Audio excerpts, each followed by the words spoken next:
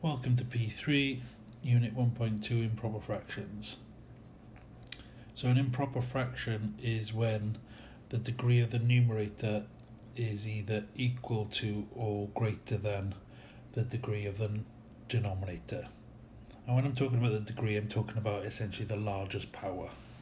So, for example, something like x squared plus 5x plus 8 over x minus 2 we have this power here. Largest power on the top is a squared. Largest power on the bottom well just the power 1 so this is an improper fraction. Um, again you know if I had like x cubed plus x squared minus 9 over x cubed plus 8 the largest power on the bottom is cubed, the largest power on the top is cubed. So again, this is improper. Okay, so it's only when the powers are the other way around. Something like that. Well, this wouldn't be improper now, because you can see the largest power on the top is smaller than the largest power on the bottom. So it's all about that largest power on the top line, largest power on the bottom line. That's what you're comparing. So as I said, if it's the same or larger on the top line, the numerator, than the bottom line, the denominator, then it's an improper fraction. Now, there are two ways in which we can solve a problem with improper fractions, and this is an exam question here um, just simplified a little bit. You can see on the left here largest power is a cubed. It's larger than what I've got on the bottom so it's improper. So you can see it wants me to leave it in the form of quadratic plus essentially its remainder. Okay so one method would be to use long division. So setting that up put my x plus 1 outside, x cubed plus 2x squared plus 3x minus 4. uh, x goes into x cubed, so let's go divide in. So we got x squared, x squared multiplied by x is x cubed plus x squared. And if you've watched my videos before, you know I like to just change my signs here and add. So x cubed and x cubed is negative so we've got 1x squared there and I'm going to bring down my next term. So x goes into x squared so that's going to leave me x so that's x squared plus x. Again I'm going to change the signs and I'm going to add 2x leaves me with the minus 4 so working this out, I get 2 on the top, 2 times x is 2x, and 2 times 1 is 2. And again, change my signs and add. 0 minus 4 minus 2 is minus 6. There is my remainder. So, I'm just going to move this across a little bit, give myself a little bit more room. Um, and then I really should start with writing down what my fraction was up here. Or I could name it something first before I make this kind of final statement.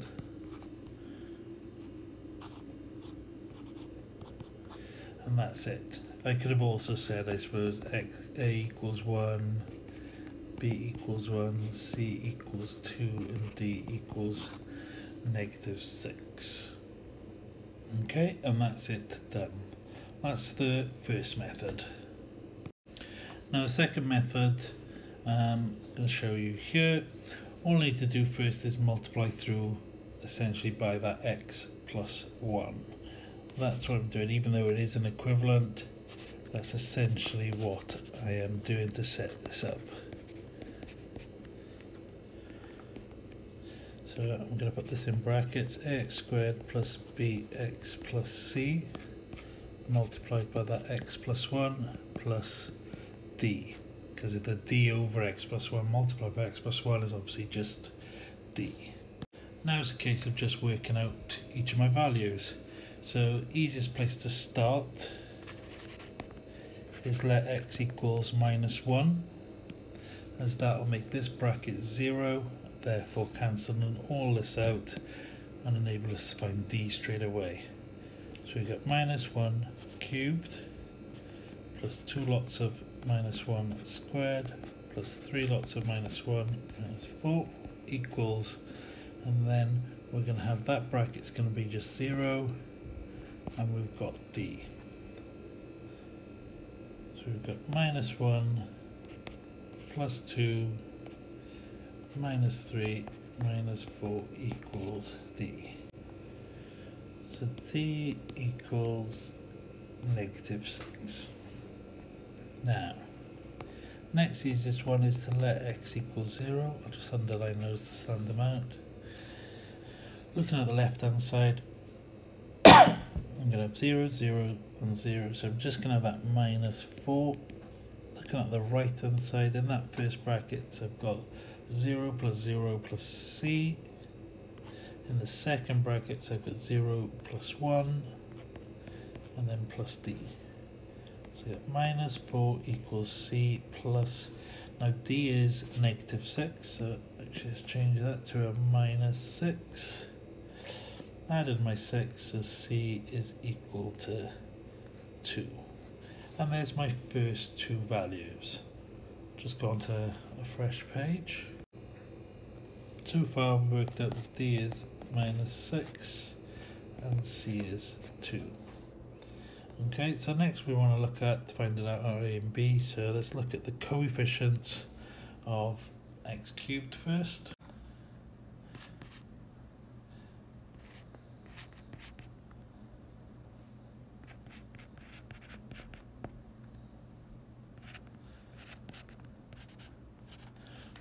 Spelling, I had to concentrate then.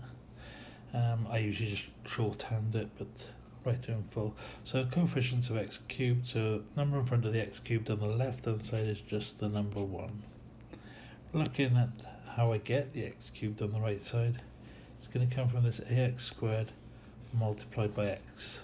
So that will give me ax cubed, and the coefficient of ax cubed is just a. So there I've got a equals 1, and then we'll look at the coefficients of sorry x squared. So look at this. On the left hand side we've got 2x squared. So the coefficient of 2x squared is just 2 and then look on the right hand side the coefficient so let's have a look. Ax squared times 1 is going to give me give me 1x squared so that's ax squared right and when I look at the second one, bx times x will be bx squared, so just b. Now I know a is 1, that means b equals 1. And there I've now got my A, B, C and D. So you can quite clearly see, you know, if I did write it back out, you can see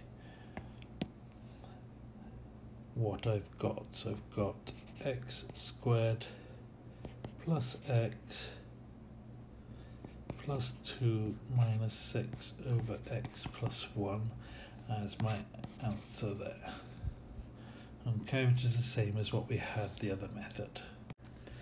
Now, sometimes in the past, when it was uh, before it was the the P3 and it was part of the course, sometimes there were some questions that required specific methods, but now it's you know you choose which method works best for you. I would certainly suggest learning both methods as some questions are easier to do one way than other questions so you can adapt it as you need to. Here are three questions for you to try. Pause the video now and then I'll go through the answers afterwards. So solve this one with long division as that's how it's already kind of set up to be solved. 2x cubed plus 3x squared minus 4x plus 5. So 2x cubed divided by x, so we got 2x squared. And then if I multiply 2x cubed plus 6x squared, and I'm going to change the sign and add 6x minus 3x squared there minus 4x so let's do that we've got minus 3x so we got minus 3x squared minus 9x there change my signs and add. It's going to give me 5x and then we've got plus 5 along the top. So it's 5x plus 15 change my signs and add and we get a negative 10 there. So you can see here you know we've got 2x squared minus 3x plus 5 minus 10 over x plus 3 so a equals 2 b equals negative 3 c equals 5 and d equals negative 10 by the way this one's set up I'll uh, just compare coefficients and substitute values in now because of the x squared in this bracket I'm not going to be able to make this bracket zero um, so I'll probably just start with substituting x equals 0 in. So that'll give me 5 on the right. And this bracket I'm going to get just b. In this bracket 2x squared will be 0, so it's just 2. The c will go. And then I'm left with a d. So I've actually got 5 equals 2b plus d. So I can't do anything else with that one at the moment. I'm going to leave that there. I'm just going to number it 1 for later. So let's have a look at the coefficients. That might have been a better place to start on this one. Looking at the largest power coefficients x cubed. On the left side it is 8. And if I look at the right side, the only way to do that is this ax times 2x squared. So ax times 2x squared would be 2ax cubed. So we got 2a there. Therefore a has got to be 4. So there's my first answer there. Now let's have a little look at the coefficients of x squared. On the left hand side that's just 2. On the right hand side there's more than one way of making it is there? Let's have a look. No, not in this case. There's no x term there. So the only way we can make it the x squared is the b times the 2x squared there. So we've got b times 2x squared, so that's 2bx squared, so 2b. Therefore b equals 1. Now I know what b is, I can actually work out what this one is. So from 1 or substituting my b equals 1 into 1 so let's put sub b equals 1 into equation 1 we get 5 equals 2 lots of 1 plus d so d is going to equal 3 so now I've got three of my letters so to do the final one now, I could compare coefficients of x. So I'd have this one here, and I'd have this one here. Or I can substitute the number into everything. Okay, as we have D, and we have A, and we have B. So it doesn't really matter which method I use. I'm going to look at the coefficients of x so on my left hand side there is no coefficients of x. and then on my right hand side you can see I've got ax times 2 so that would be 2ax so just 2a and then I've got my c. We know what a is we know a is 4 so 2a is 8 so c is going to end up being negative 8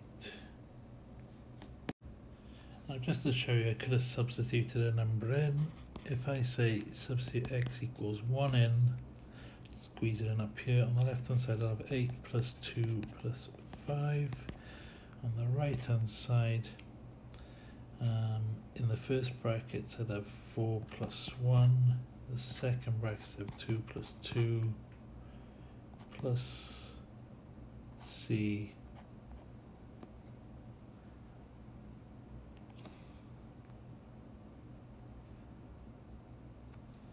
Plus, what was D3? Squeeze that one in there. And then if I expand my brackets and simplify what's on the left, so on the left you can see I've got 15, and I've got 5 times 4, so that's 20, oh, plus my 3, 23 plus C. So if I rearrange, C is going to be negative 8. So you can see I've got the same answer for C there. So there's two ways of doing it. It's whatever you're more comfortable with though at the end. Okay, final question. Go through this quite quickly. Uh, x to the power of 4 minus 1. It's very much like when you deal with difference of two squares here. So this is the same as an x squared minus 1 and an x squared plus 1. So that's what I've got for that expression there. Now the x squared minus 1 we can obviously do if again difference of two squares x plus 1 x minus 1 but we can't do anything with this x squared plus 1 so there it is now fully factorized. Now part b means that we're looking at x to the 4 minus 1 over x plus 1 so this is x plus 1 x minus 1 x squared plus 1 over x plus 1. So I need to just cancel that. Okay. Um,